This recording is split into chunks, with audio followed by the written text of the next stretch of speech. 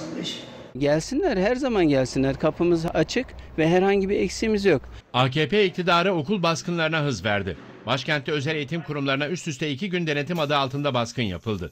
Bunlara tabii ki varız ama bunların birlikte gelmesi, hepsi birlikte gelmesi e, normal değil, anormal bir durum.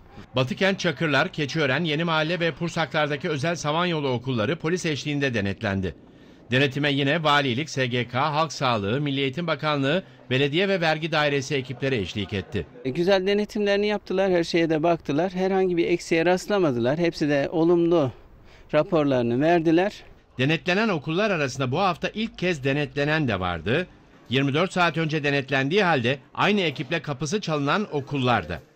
Okullar kapalıyken artık rutine binen denetimler tepki çekti. Denetimlerinizi yapıyorsunuz. Burada etrafımızda 32 tane daha özel okul var. Onlara da denetimlerinizi yapın. Sadece özel okullara değil, milli eğitim okullarına da denetim yapın. Okul idarecileri onlarca soruya muhatap oldu. Sadece Batı kentteki okulun yöneticilerine 312 soru yöneltildi. Koridorlar santim santim hesaplandı. Andımız köşesinin yeri kontrol edildi. Çöp kovalarının durması gereken yer bile teftiş edildi. Özel eğitim kurumları tam 164 kalemde denetimden geçti. Yine gelecekler acaba bir e, art niyet olacak mı? Endişesi taşınıyor. Bunlar güzel şeyler değil, hoş şeyler değil. En ilginç denetimse yine Yeni Mahalle'deki özel eğitim kurumunda gerçekleşti. Piknik dönüşü dolaba konan yarım tavuk ve tereyağı için okula ceza yazıldı.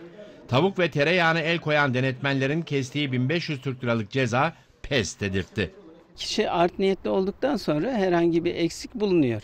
Veliler ve öğrenciler denetim geçiren okullara yine sahip çıktı.